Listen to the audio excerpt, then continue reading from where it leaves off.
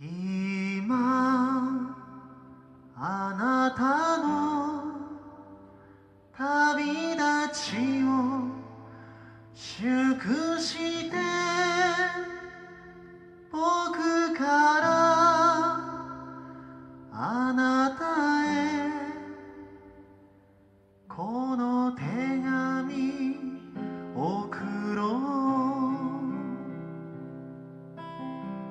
時の流れさえ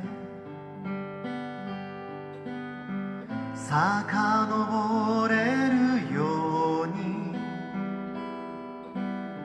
強くなりなさい。それが人生。愛することの本当を知りなさい。自分が自分で。あるために。柔らかい日差しに。当たりなさい。優しいぬくもりに包まれなさい。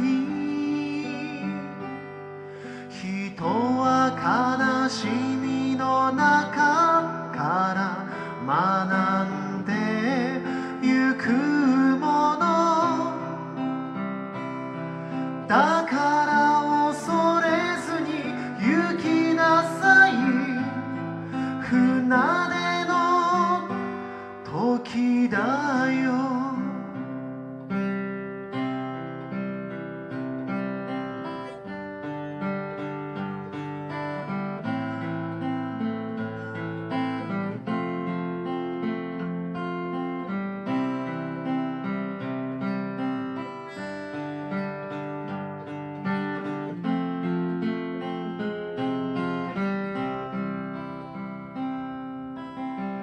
泣く時は泣いて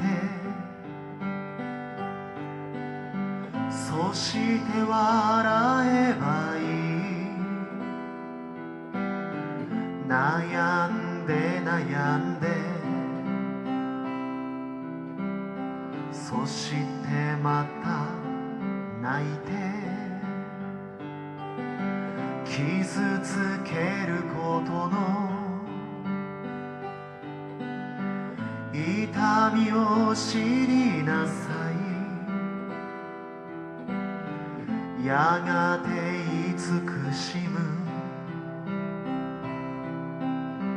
心に気づくよ。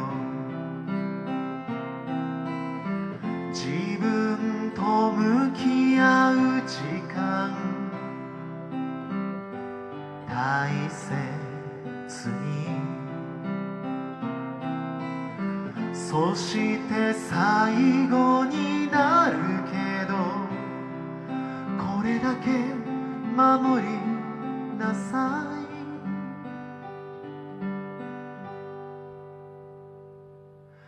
時に逃げ出したくなる日が必ず訪れる。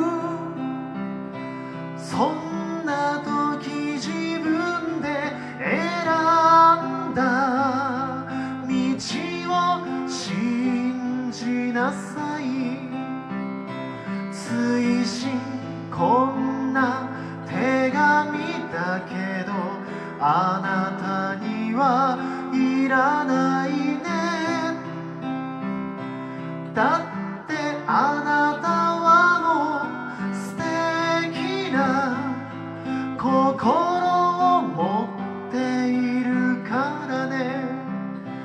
だってあなたはもう素敵な